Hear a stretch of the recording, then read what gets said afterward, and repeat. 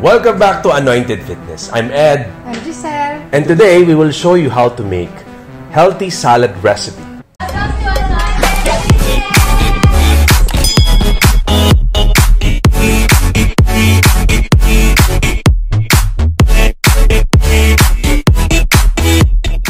So But- this is just very easy to make. Mga 10 minutes lang siya.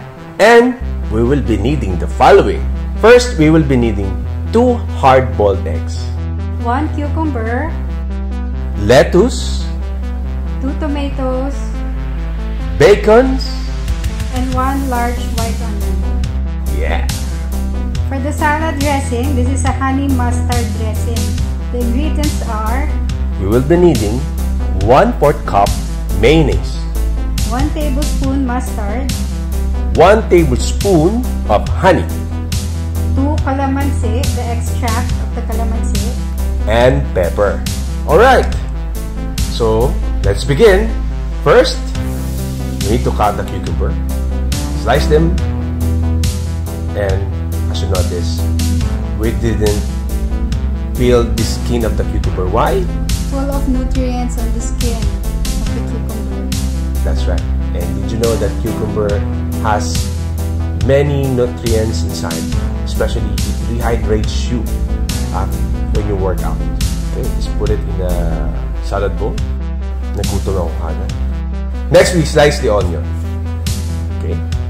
So I used uh, white onions for this salad because it has milder flavor than the usual red onions that we buy at the grocery. So it's perfect for salads. Napakasarap ng onion lalo na pag pinalo mo sa salad. Actually, kumakain lang ako ng onion kung wala sa salad, nasa beef steak. Raw onions are good, especially sa salad. Iba talaga ang nutrients ng raw, especially sa salad. Fresh pa kasi. Next is the, the tomatoes. Tomatoes is uh, has like li, Lycopene, yes. uh, yeah, has like like like like Lycopene. lycopene. Rich in antioxidants and anti-cancer properties. Yes. So, uh, habang bata pa yung mga anak ninyo, eh, ask them to eat the greens, especially the vegetables. You can slice your tomatoes like that, mga julienne style, or you can dice them. Some kasi masyadong malaki para sa kanila yung ganyang slice. When I was a kid, I don't eat talaga salads. Eh. Hanggang sa one time, napakain ako sa sa isang fast food chain. And there there's this burger. Meron siyang pickle sa loob. Laban sa tomato. Anyway, cut that.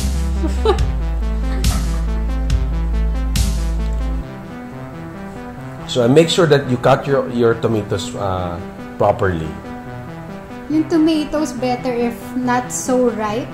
Medyo semi-ripe lang siya. Kasi masa, masyado nang ma-juicy yung yung salad na overpower na niya pag masyadong ripe yung tomato. Now the egg. Sabi nila, pag daw kinain mo yung egg yolk, you'll gain weight. But did you know that egg yolk is full of cholesterol? Good cholesterol. And the egg white is full of proteins that builds your muscles. Actually, the, the healthiest way to eat an egg is hard-boiled. Kasi there's no oil involved.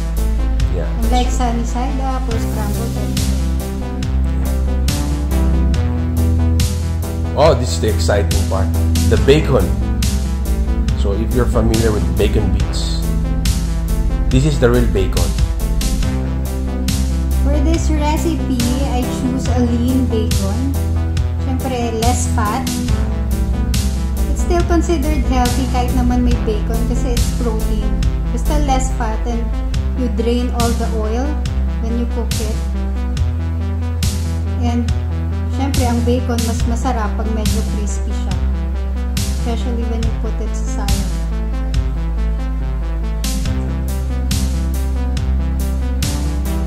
So just cut it.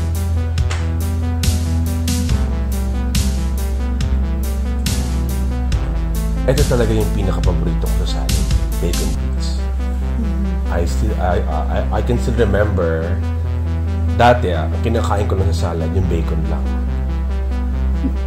Ngayon, talagang nasanay na ako kumain ng salad. Gawin naman palagi eh. Yan yung when you try the to bacon healthy food. really gives it so much flavor. Yung smoky flavor.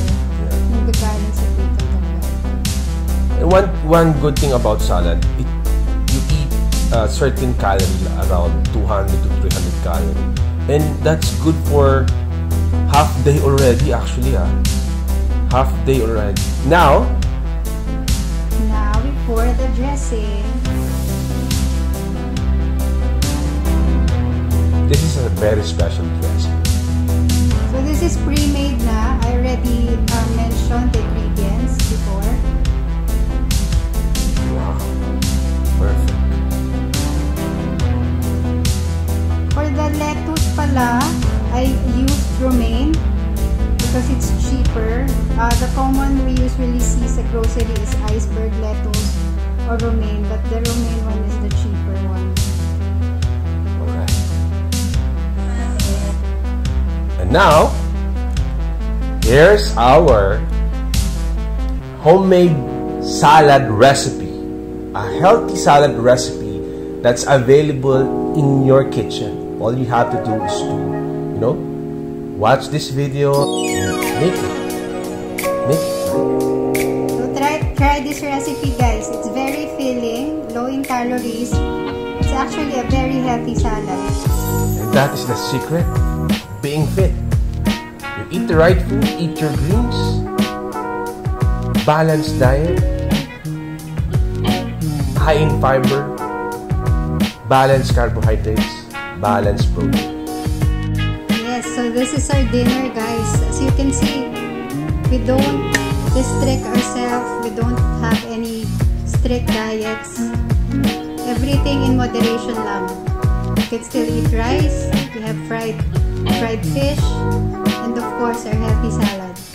Alright, so let's eat, let's go. Alright, let's go. If you happen to love this video, please hit like, subscribe, and ring the bell. Please leave your comments and suggestions below. See you in our next video. Bye!